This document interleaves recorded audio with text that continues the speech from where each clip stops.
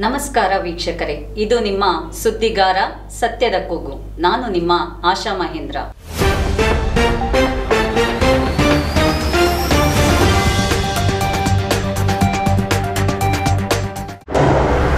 ವಿನೋದ್ ಪ್ರಭಾಕರ್ ಚಿತ್ರ ಶ್ಯಾಡೋ ಬಿಡುಗಡೆಗೆ ಮದ್ರಾಸ್ ಹೈಕೋರ್ಟ್ ತಡೆಯಾಜ್ಞೆ.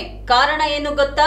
ಶುಕ್ರವಾರ ರಾಜ್ಯಾದ್ಯಂತ ಬಿಡುಗಡೆಗೊಳ್ಳಬೇಕಿದ್ದ ವಿನೋದ್ ಪ್ರಭಾಕರ್ ಅಭಿನಯದ ಶ್ಯಾಡೋ ಚಿತ್ರವನ್ನು ಫೆಬ್ರವರಿ ಹದಿನೆಂಟರವರೆಗೆ ಥಿಯೇಟರ್ನಲ್ಲಾಗಲಿ ಒಟಿಟಿ ಮೂಲಕವಾಗಲಿ ಬಿಡುಗಡೆ ಮಾಡಬಾರದು ಎಂದು ಮದ್ರಾಸ್ ಹೈಕೋರ್ಟ್ ಮಧ್ಯಂತರ ತಡೆಯಾಜ್ಞೆ ನೀಡಿದೆ.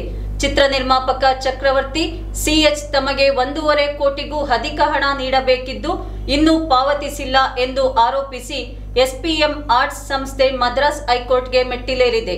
ಎರಡ್ ಸಾವಿರದ ಹದಿನೆಂಟರ ಜೂನ್ ಇಪ್ಪತ್ತೈದರಂದು ಎಸ್ಪಿಎಂ ಆರ್ಟ್ಸ್ ಹಾಗೂ ಚಿತ್ರ ನಿರ್ಮಾಪಕರಿಗೂ ಒಪ್ಪಂದ ಮಾಡಿಕೊಂಡಿದ್ದು, ಅದರಂತೆ ಚಿತ್ರದ ಎಲ್ಲಾ ಹಕ್ಕುಗಳು ಅರ್ಜಿದಾರರಿಗೆ ಸೇರಿರುವುದು ಕಂಡುಬರುತ್ತದೆ. ಹೀಗಾಗಿ ಅರ್ಜಿದಾರ ಸಂಸ್ಥೆ ಎಸ್ಪಿಎಂ ಆರ್ಟ್ಸ್ ಕೋರಿಕೆಯಂತೆ ಚಿತ್ರದ ನಿರ್ಮಾಪಕರು ಫೆಬ್ರವರಿ ಹದಿನೆಂಟರವರೆಗೆ ಚಿತ್ರವನ್ನು ಥಿಯೇಟರ್ನಲ್ಲಾಗಲಿ ಒಟಿಟಿ ಮೂಲಕವಾಗಲಿ ಬಿಡುಗಡೆ ಮಾಡಬಾರದು ಎಂದು ಹೈಕೋರ್ಟ್ ಮಧ್ಯಂತರ ತಡೆಯಾಜ್ಞೆ ನೀಡಿದೆ.